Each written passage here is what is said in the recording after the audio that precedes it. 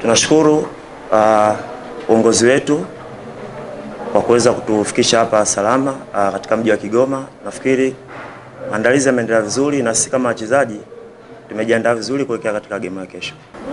Uh, nafikiri majukumu ya captain uwanjani uh, ukiachana na kocha ambaye yuko nje, majukumu ya, ya pili ya captain ni kuongoza uh, wenzake uwanjani.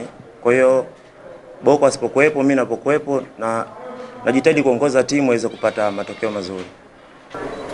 Kwanza kwetu sisi wachezaji hauna pressure kabisa. Nafikiri pressure kubwa ipo kwa mashabiki. Sisi kama wachezaji tumejiandaa vizuri na naamini maelekezo ambayo tumefuata kwa walimu wetu na viongozi wetu jinsi ambavyo wametuandaa, nafikiri tutaenda kufanya mchezo mzuri na tutaondoka na pointi tatu ambazo tutatufanya tu, tunyanyue kombe. Taswira ambayo naleta kesho, tuna jukumu kubwa sana kwa kwa, kwa viongozi wetu, kwa mashabiki na wanachama wa Simba kwa sababu ukiangalia games zilizopita hatukufanya uh, vizuri. Kwa hiyo kesho tuna jukumu kubwa sana na naamini kufanya vizuri kesho ndio kutaleta taswira ya, ya ukubwa wa Simba.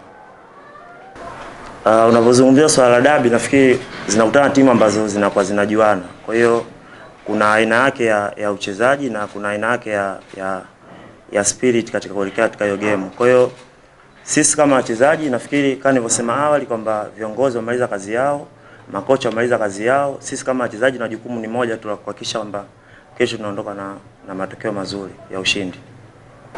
Uh, umuhimu wa mwalimu msaidizi upo, lakini akiwezi kutupunguza uh, ile morali yetu au au kuna kitu chochote ambacho kinaweza kikapungua, lakini umuhimu wake upo na kuonesha kwamba tupo pamoja naye. Kwa hiyo kesho lazima tuweze kupata ushindi ili kumuonesha kwamba tuko pamoja.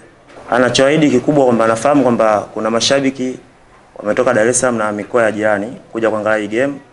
Kwa hiyo mashabiki wa Simba popote walipo, kama wapo karibu na washakaribia, kesho wajitokeze kwa wingi kuja kuangalia mchezo mzuri na kuona kwamba vijana wao tunapambana kwa ajili ya timu yao.